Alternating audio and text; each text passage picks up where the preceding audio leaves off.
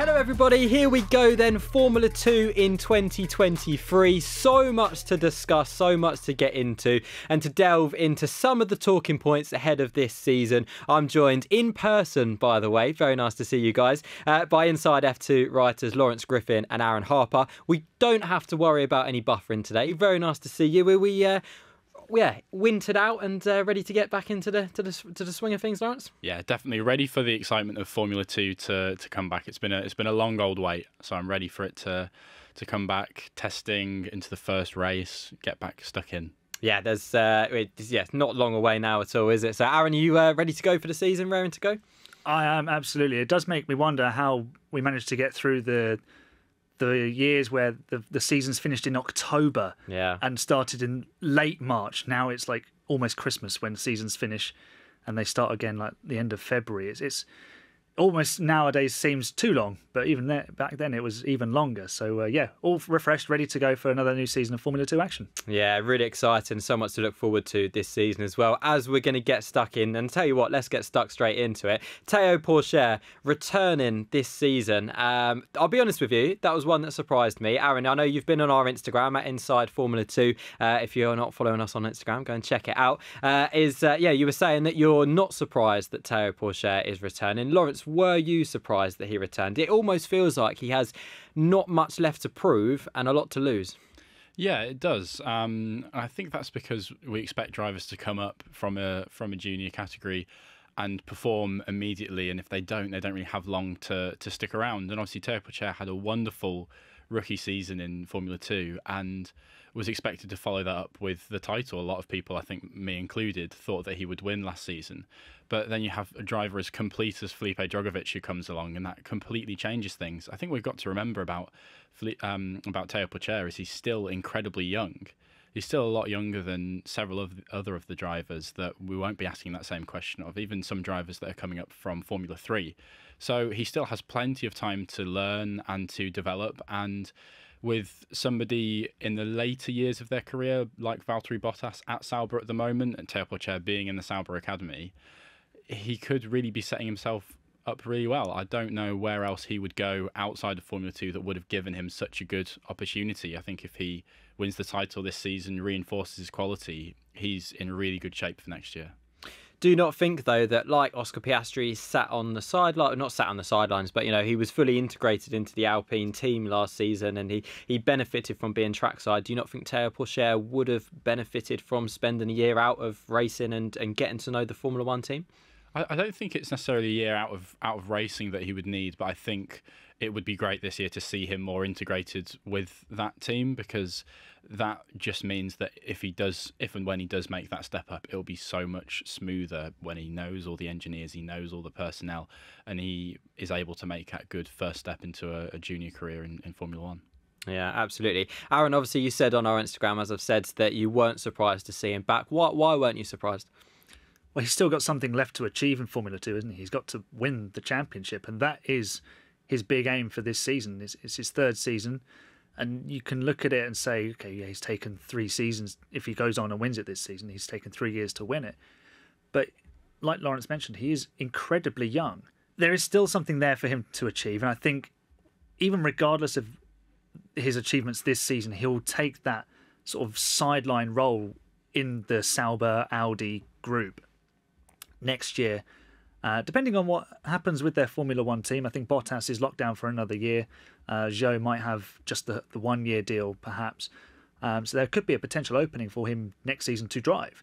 But like you mentioned with Oscar Piastri, that year on the sidelines would be beneficial. He'd embed himself in the team, he'd get some practice sessions.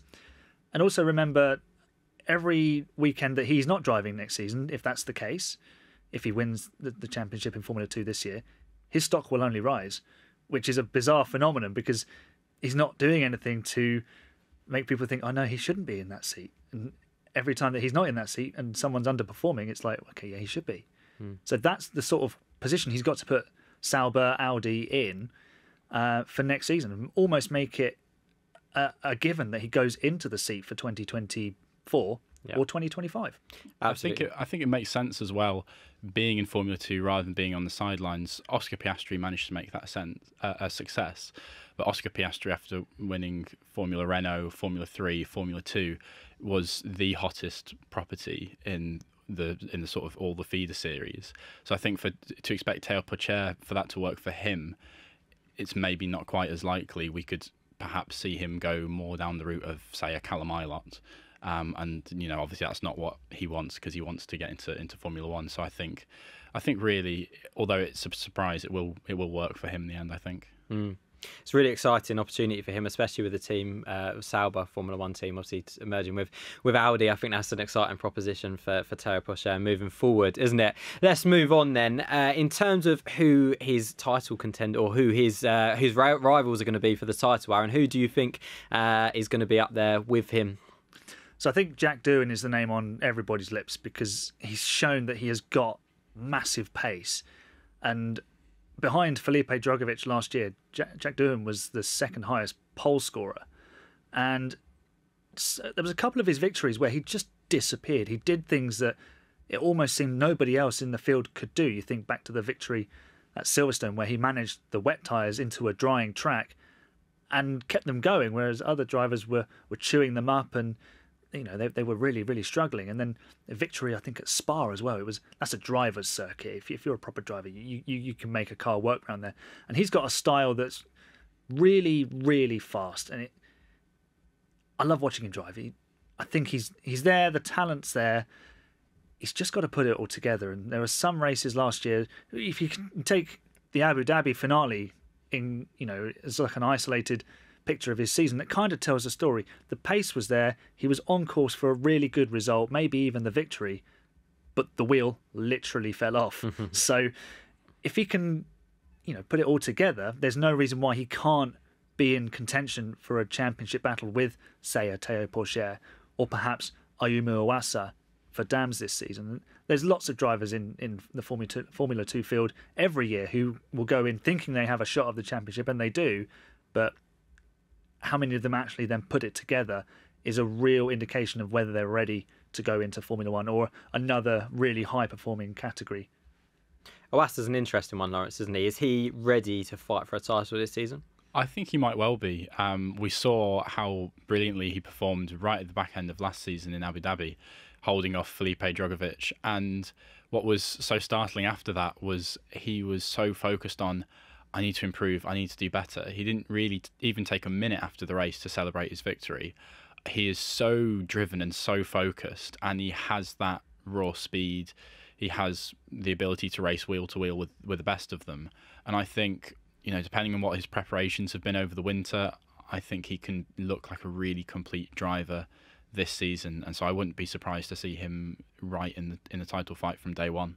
Yeah, I mean, Dam's strong team uh, know how to win a title previously as well, don't they? In in this category, um, we've had a question that's come in. So Sean asks, can MP Motorsport maintain their championship winning form in 2023? And I suppose uh, uh, one fr- from me, building on top of that, if you like, is De- can is, is Dennis Hauger a, a championship contender, or uh, for that matter, is Jehan Daruvala a championship contender? I think it would it would be harsh to to rule someone like Dennis Hauger out with the pedigree he has from Formula Three. We know how much talent he has. The interesting case with MP Motorsport is what we've seen over the past few years is the connection between driver and engineer is so important in this series that you can have someone like Felipe Drugovich do wonderful things with that car that his teammates have struggled to do. And so for Dennis Hauger to come in, I think it's not as simple as ex Formula 3 champion comes into title winning car and therefore wins, because he had a title winning car last season when he stepped into what was Oscar Piastri's team. So I think it's actually going to be far more difficult for MP Motorsport this season than people think. That said, that team now has experience of, of winning and they won't want to let that slip. And both Hauger and especially Daruvala have a wonderful amount of experience. So I think that that team can perform well. I just don't see them performing to the extent they did last year. But I'd love to be proved wrong.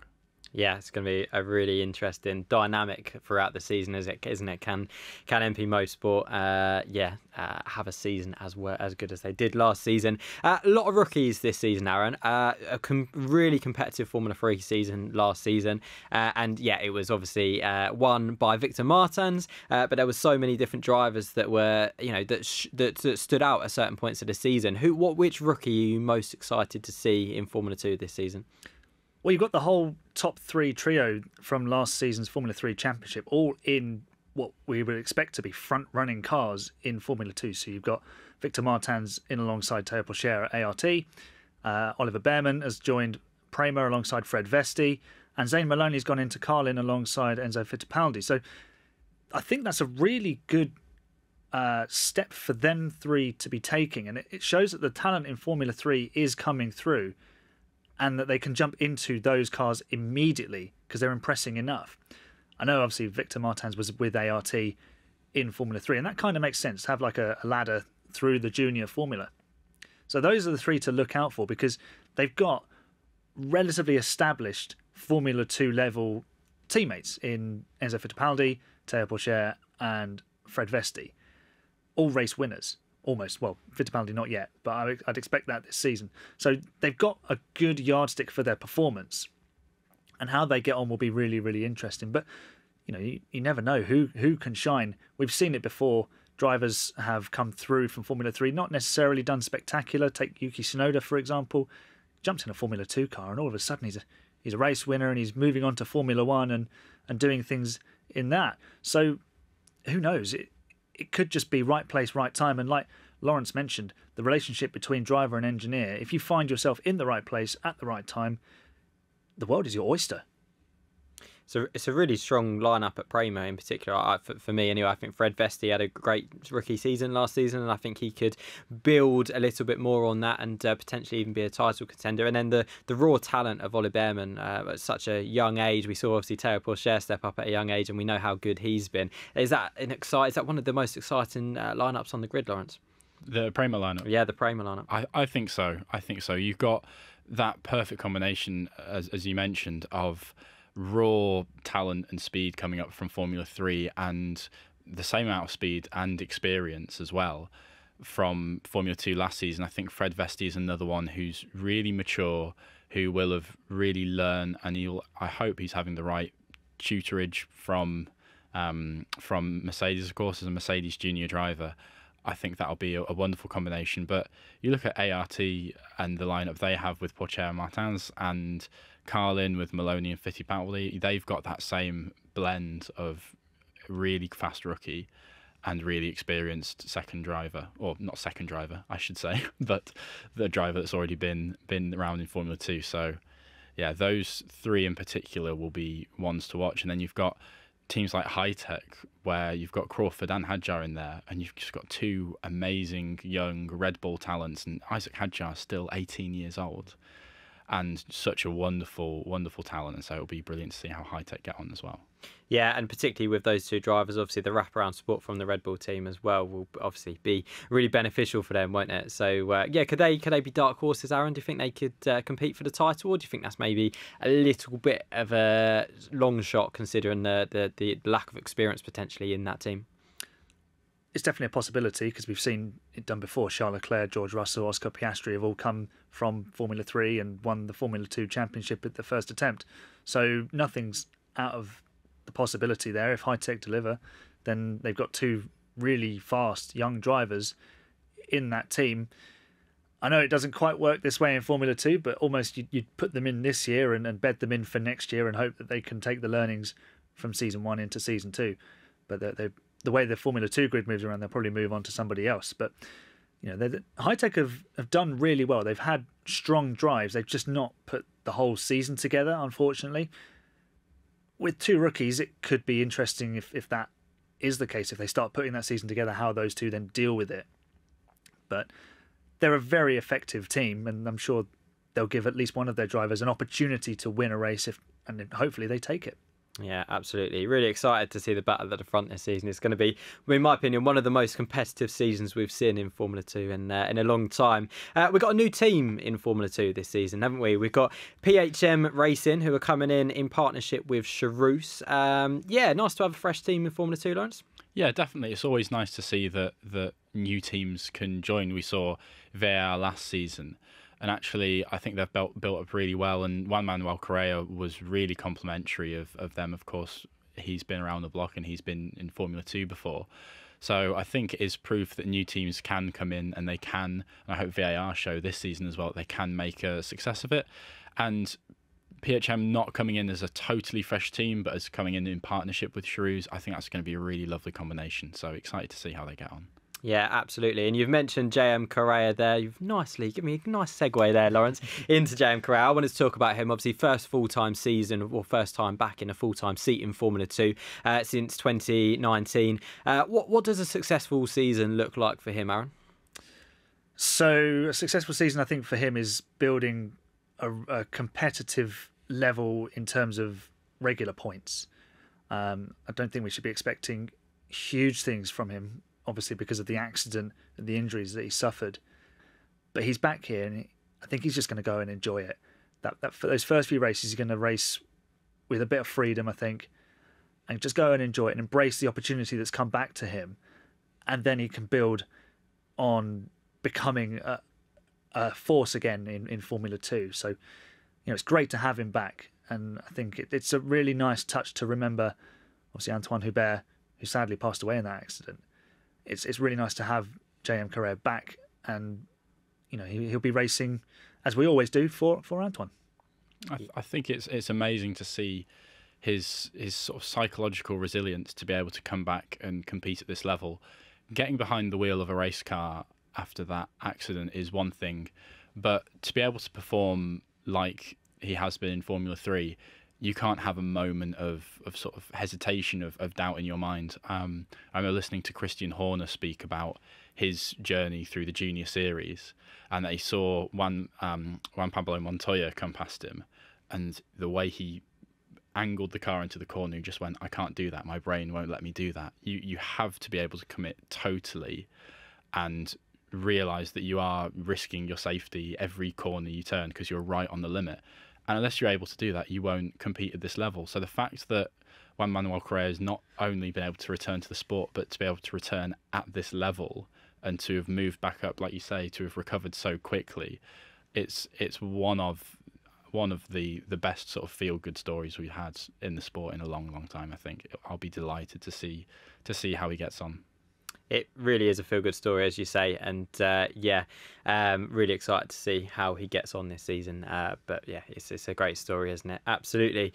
Okay, let's get into the fun part of the show. All right, this is predictions for the season, and I have no doubt we will revisit this at the end of the season, and we'll be laughing at these predictions uh, come the end of the season. So we've broken it down into five, uh, five or six different categories. So the the first one is the first new winner of 2023. So with the seven drivers who have won a Formula Formula Two race already, they're Dennis Hauger, Jehan Daruvala, Teo Pourchaire, Frederik Vesti, Ayumu Iwasa, Jack Doohan, and Richard Verschoor. So who is going to be the first new winner of 2023? I'm looking at you thinking, who am I coming to first? I'm going to go Aaron. You're going to come first. Uh, or I think Enzo Fittipaldi. Okay. Because Carlin are on a a good trajectory. They've got two really good drivers in Zane Maloney and Enzo Fittipaldi. It could easily be Zane Maloney because he's coming off the back of three feature race wins in a row in Formula Three. So don't rule him out. But I'm going to plump for, for Enzo as the ne- as the next new winner. It's his chance. He's got to go and make it work. He's got to go and get that victory early on if he wants to win the championship.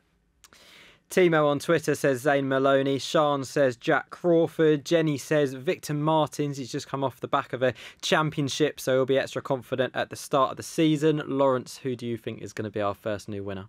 Well, I'm going to massively cop out on the, uh, of this and, and say, with the first race being a, a sprint race, it is so hard to predict who's going to qualify 10th and end up on reverse grid pole. and then you, you throw into the fact that into the mix that it's Bahrain, where we see a lot of overtaking, high degradation. It's it's so hard to know. what I will say is I have a prediction for the first feature race winner, Go on. and I think that's going to be Arthur Leclerc. Wow. I think for someone like his style, I think is very suited to Bahrain. The way he can move through the field, I think as long as he manages the tyres well, I could see him doing something similar to what Charles Leclerc did back in 2017 and sort of blaze a path through the field. I'd love to see that. Um, now I've said it, it won't happen, but it would have been nice. cursed him to a, a retirement on the first lap, haven't you? Yeah, I have. I, I have definitely turn one. Turn one accident now. Yeah.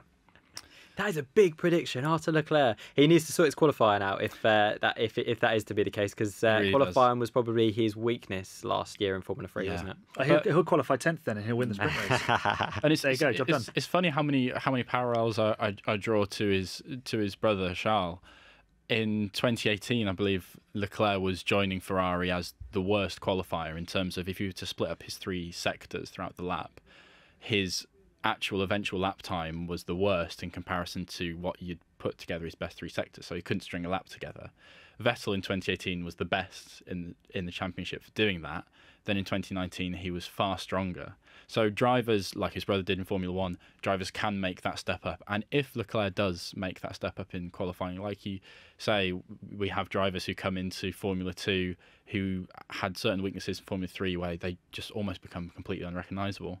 And so maybe that will be the, the case for Leclerc. If he does qualify, then wow, he's going to definitely be joining the conversation for, for the title. Absolutely, because race pace was not an issue last No. year at all, was it? So uh, interesting. Okay, uh, the biggest positive surprise, Laurence, will come to you first for that one.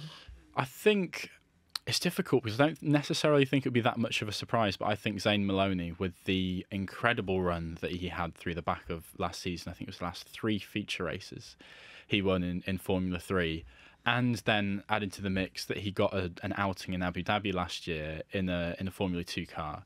The way we saw Jack Doohan do the same the previous season, then he came to Bahrain last season and put it straight on pole. I think we could see Zane Maloney, Zane Maloney doing something very similar. I think he's a he's a really talented driver. Mm, absolutely. Timo says Frederik Vesti is a good shout for that one. James says Ollie Bearman. Aaron, who do you think? I'm going to go with Amaury Cordeel because he had a very messy first half of 2022, which resulted in a race ban at Silverstone, I believe it was. And then he come back in Austria and was actually very accomplished. And he picked up some points towards the end of the season.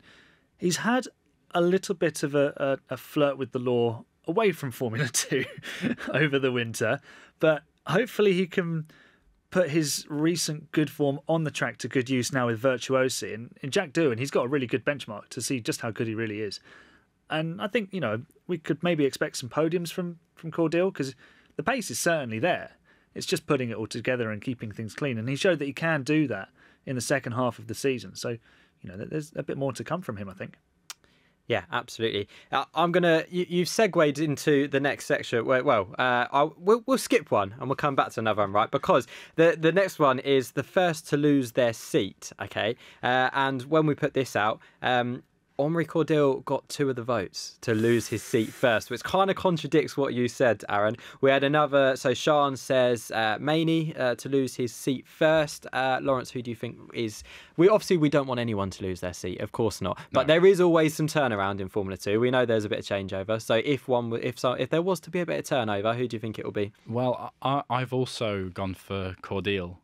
Um, there's, you know, the the accumulation of penalty points, off off track stuff notwithstanding.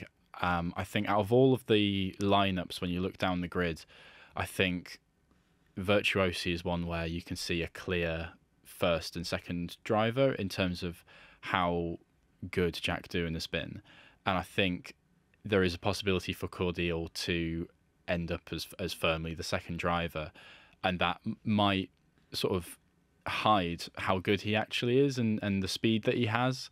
Um, so I think he he might struggle. Aaron, that uh, contradicts what you were saying. here. I'm, I'm the lone voice of hope from Harry Cordeel, it seems. Um, I'm going to go for Ralph Boschung, much to uh, Jim Kimberley's dismay.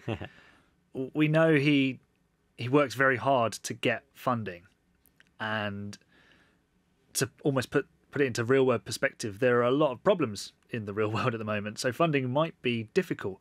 So there might be an occasion where he has to skip a race because he hasn't got the money for the seat or or something. So I hope that doesn't happen because I think Ralph is an excellent competitor. And obviously last season he was driving really well. Then he picked up the injury and was in and out. And on his day he can be really really effective. So hopefully he doesn't lose his seat. But that, that's who I'm going to put my my uh, money on on that one. Yeah, I don't think you'll be getting a text from Jim Kimberly anytime soon Sorry, after Jim. that uh, prediction. Um, yeah, t- you know what? Ralph Boschung was someone that I considered for first new winner. He's still yet to win a race in Formula Two, and uh, I think uh, in in the right sprint race with a reverse grid, he could be uh, someone who's. Could, uh, could you imagine the irony if he takes his first win, then he can't fund the can't next fund race? the next race. We're both yeah. right. you know what? He um he he, he it absolutely could, could be someone that if financially, obviously, yeah. Um, but but also in terms of his injury, he did have an injury last year, which obviously ruled him out for a few races. He, I think it was Spa that he came back and did an incredible job to to, to be there in the first place and to get in a, in, into a race car again. Uh, but yeah, let's hope for, it's a better season for Ralph Boschung. He can complete the full season because we know know how good he is. Um, this next question then, uh, the biggest disappointment. We don't mean disappointment. We we all, we think they're all brilliant, right? But there could be a driver who maybe doesn't quite live up to the expectations this season. Uh, if there was to be a driver, who do you think that would be, Aaron? Dennis Hauger. There's almost an expectation that he's gone to the, the champion team of the previous year for the second year in a row. And now, if he doesn't fulfill that almost expected potential, everyone's going to look at him and go, hang on, how good really are you? Because he destroyed the field in Formula 3 a couple of seasons ago. And there was a lot of talk of him winning the title last year in F2, following Piastri's footsteps of winning F3, joining Prema, and yeah, so maybe a fresh start will be good for him. Sean agrees with you. She says Dennis Hauger. Timo says Jehan Daruvala. Uh, James on Twitter says Enzo Fittipaldi. Uh, Jenny says Teo Pourchaire because he uh, has the greatest amount of expectation on him, which could be a fair point. Laurence, who do you think? Teo Pourchaire is an interesting one. I think there is as much as I do, I do back him to perform very well. I think with the with the level of expect, I think Jenny's absolutely right. With the amount of expectation on him, there is real potential for him to to sort of disappoint this this year, which is really really harsh on him. And I think similar to you know Dennis Hauger last season, the amount of expectation we had on him was perhaps unfair because we expected him to follow in Oscar Piastri's footsteps, which we know is very hard to do. So I think you've got someone in Victor Martins coming up who's who is experienced. He's he's not as young as some of the other graduates coming up from Formula Three, and he showed the level of consistency through Formula Three last season that nobody else showed, and the sort of consistency that someone like Drugovich took to win the title last year. So I think if he can make a positive start, Martins is not someone who will go missing on the odd weekend and give Teo Pourchaire an easy ride in the title either. Um, I don't know, it just looking up and down the grid, you've got Teo Pourchaire who does come in as as the favourite on paper by all means, but you look at the amount of talent that's sort of swarming behind him, and it's going to turn into a really really tight championship battle. It really is, isn't it? I'm excited. I know the season hasn't even started yet, but I'm absolutely buzzing to uh, see the title race this season, which leads us on nicely. Formula 2 champion for 2023. Luke says he thinks Victor Martins will win back to back Formula 2, Formula 3 championships. Juan on Discord says that uh, Pourchaire or Jack Doohan. We'll tell you what, we've got a lot of Jack. Zoe says Jack, Jack Doohan. Emily says Jack Doohan. Jenny and Timo also say Jack Doohan. Uh, Aaron, who do you think is going to win the title? I can't look past Jack Doohan, to be honest. I think he's brilliant. I just think, I think he's he's got the pace, and it, he's it, if he puts it on pole position often enough, and he can control the race from the front by just disappearing, he'll win enough races. Kind of the way that Drugovich won the championship last year, and sort of crush everybody else's hopes with just sort of sheer qualifying performance, making sure he's always there. Um, yeah, but it's, it's going to be very close. I'm expecting Teo Pourchaire to be up there. Ayumu Iwasa, Ollie Bearman, Victor Martin, Zane Maloney, Fittipaldi. That any of them could win it. Let's be honest. but I'm going to go for Jack Doohan. Going to go for Jack Doohan. Laurence, do you, uh, Jack Doohan seems to be the firm favourite here. Is uh, there an alternative answer? I think there's. I think the issue is there's too many alternative answers. Yeah. Um, I think I'm going to plump for Ayumu Iwasa. actually. Wow. I think Big statement. I re- I really do back his his sort of ability to move up in that in that second season, and I think with his attitude and his pace, I think he he has what it takes. And also, I think in Dams you see a team that's rebuilding after a, a couple of difficult years, but they have that title winning pedigree, and that I think in a way doesn't ever go away from a team altogether. So I think they'll be really motivated to kick on. And I think with having somebody as aggressive and as quick as Leclerc as his teammate, I think that will give him an extra drive. Very interesting. Jack Doohan for Aaron, Ayumu Iwasa for Laurence. Uh, I'm going to throw my opinion out there as well, if you don't mind, just so that we can laugh at it at the end of the season. So uh, you might be the one laughing if you hit the nail on the head on this one. I might be. I might be. Yeah. And by the way, let us know in the comments who you think is going to win the title this year. Not only going to win the title, all of the all of the different questions we've covered so far. Uh, let us know your comments. We'd love to hear from you. Absolutely. My pick for the title is a little bit boring, to be fair. Théo Pourchaire. I do think he's going to come back, and I do think he's going to do do the business, and I think he's going to put himself in a really good position for a Sauber, Audi, whatever they're going to be called, uh, drive for next season for 2024. Um, and uh, as you say, yeah, producer James, we can clip that and we'll use that at the end of the season for uh, everyone to laugh at. So uh, there you go. I almost feel like we need a second sort of dark horse selection. There's too Yeah. There's too many. There's too many. There, there are so many though, aren't there? There are so many. I mean, you, you could you could name seven or eight drivers up or down the up and down the grid that genuinely have a shot at winning the title this year through experience, through raw pace. Yeah, there's there's a lot of names to pick from, isn't there? And even even last season, a, a few races in, I think we were still none the wiser really as to who would win the the title. I mean, after after Bahrain, it was you know everyone was talking about Liam Lawson and, and Jüri Vips and how fast they were, and it just did not materialize for them in their in their second season. And then you slowly had drivers like Logan Sargeant who emerged as wonderfully consistent and grew and built beautifully through the season. So, you know, it's hard enough to predict a few rounds in, let alone where we are now. It Well, really it is. wasn't until sort of Spain last year that Drugovich did that double. Then he took the feature race win at Monte Carlo, and everyone was suddenly looking at him like, okay, he's got a big, big lead now. And obviously, Pourchaire followed him home in, in Monaco and was his closest contender. But from that point on, it the Drugovich Pourchaire battle became the narrative. Sargeant had that purple patch at Silverstone, and the the, the fortunate victory in Austria because of the, the way the penalties fell uh, for other drivers. Um, I think it's going to be a lot closer this year. There's going to be multiple race winners. You might see a champion who only wins like two races.